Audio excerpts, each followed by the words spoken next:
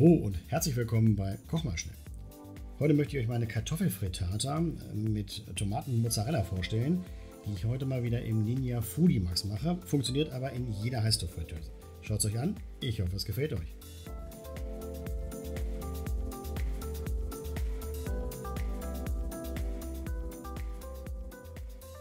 Alles, was ich brauche, habe ich wieder rausgelegt. Wir brauchen auf jeden Fall Kartoffeln, Zwiebel, zwei Eier, zwei Tomaten, ein bisschen Bacon, Petersilie, Mozzarella, Muskat zum Würzen und Pfeffer und Salz. Und das war's auch schon. Los geht's.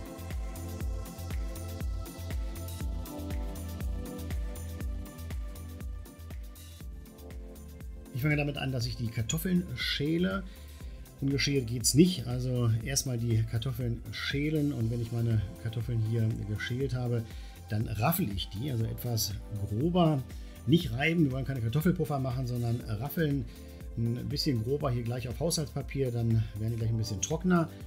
Und wenn ich meine Kartoffeln geraffelt habe, wenn ich damit fertig bin, dann gebe ich meine geraffelten Kartoffeln hier in einen Nudelfang oder ein Sieb und wässer die Kartoffeln jetzt gleich, damit ich die Stärke so ein bisschen auswasche. Das führt dann dazu, dass die Kartoffelmasse später so ein bisschen mehr crispy wird, krosser wird.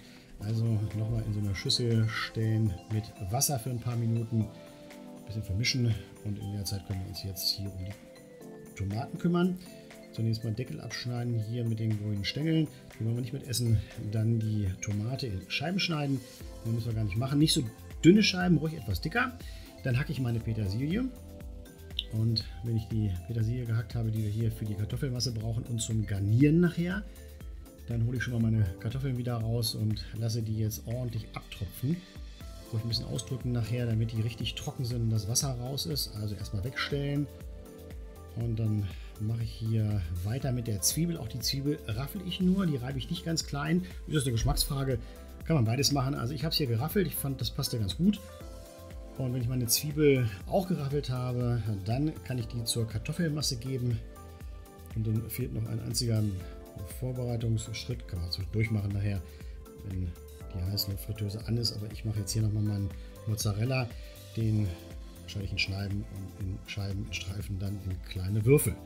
Und da können wir auch schon an die Schüssel gehen. Jetzt mische ich hier meine Kartoffelzwiebelmasse mit den beiden Eiern, gebe Pfeffer und Salz dazu, als Gewürz und Muskat. Und außer den Gewürzen kommt jetzt noch die Hälfte der Petersilie dazu, nur die Hälfte. Ja, denkt dran, die andere Hälfte hier, die wir jetzt hier noch drin haben, die brauchen wir später zum Garnieren. Das war es auch schon an Zutaten, die wir für die Masse brauchen. Jetzt heißt es mischen, mischen, mischen. Und zwar so lange, bis die Masse wirklich gut vermischt ist, bis sich hier die Eier, Kartoffeln, Zwiebel, Gewürze, Petersilie gut zu einer homogenen Masse vermischt haben. Und wenn wir das gemacht haben, dann können wir die Masse zunächst mal kurz beiseite stellen. Und jetzt nehme ich hier meine Auflaufform. Ich habe hier so eine kleine Auflaufform, die in den Ninja passt. Ich blende euch rechts oben mal mein Unboxing ein für Zubehör für die Heißluftfritteuse. Das gibt es also für alle Geräte. Ich habe hier so eine kleine Form und die bedecke ich jetzt hier nochmal mit Backpapier. Ich hatte eigentlich die Hoffnung, dass ich dadurch so die Form ein bisschen abdichte, damit die nicht mehr ausläuft. Hat nicht funktioniert, seht ihr nachher, da läuft dann trotzdem noch so ein bisschen Kartoffelwasser aus, aber war eine Idee. Ne? Jetzt belege ich hier den Boden der Form mit dem Bacon und wenn ich den gesamten Bacon verarbeitet habe und den hier ausgelegt habe, dann kommt auch schon die Kartoffelmasse in die Auflaufform, in die kleine hier. Und das ist jetzt wirklich easy. Einfach reingeben und oben so ein bisschen flach streichen, damit wir eine einheitliche Oberfläche haben, damit da nichts verbrennt. Und da seht ihr auch schon rechts unten und an der Seite kommt dann doch wieder Suppe raus. Okay, jetzt setze ich die Auflaufform in den, in den großen Grilleinsatz. Unten habe ich schon den kleinen drin, damit die Auflaufform möglichst hoch kommt.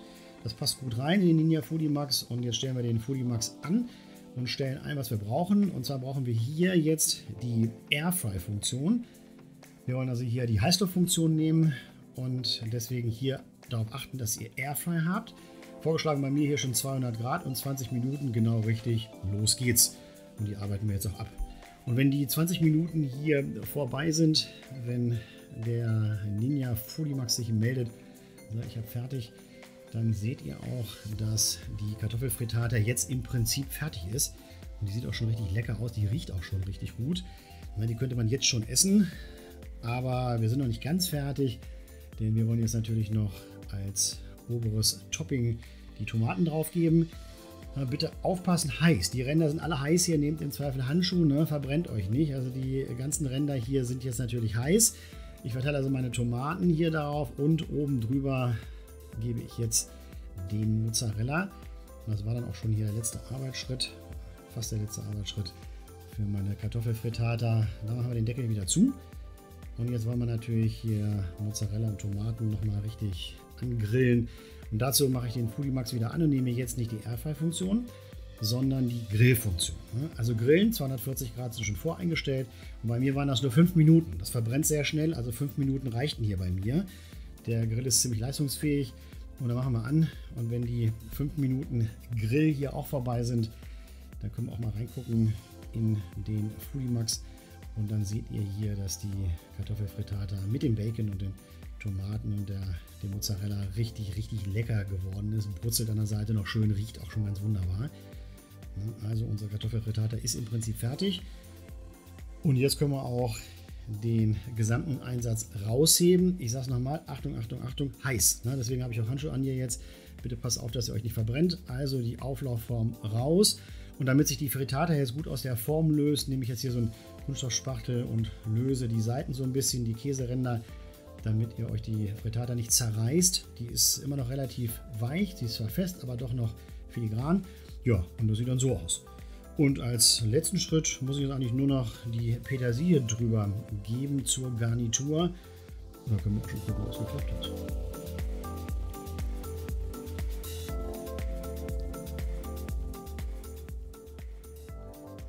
Ja, wie ihr seht, sieht meine Kartoffelfrittata hier mit Tomate, Bacon, Mozzarella super, super lecker aus oben so ein bisschen crispy und die, der Mozzarella ist schön zerlaufen. Der Goro ist wirklich wundervoll. Die Kartoffelmasse ist gut gestockt, die ist fest genug, aber eben auch nicht trocken. Also ein ganz wundervolles Rezept. Mir hat es echt gut gefallen. Geht schnell in der Heißluftfritteuse, in jeder anderen auch. Also ich denke, meine Kartoffelfrittata mit Bacon und Mozzarella und Tomaten hat geklappt. Wenn es euch gefallen hat, gebt mir gerne einen Daumen hoch und abonniert meinen Kanal. Und ansonsten bis demnächst. Koch mal schnell.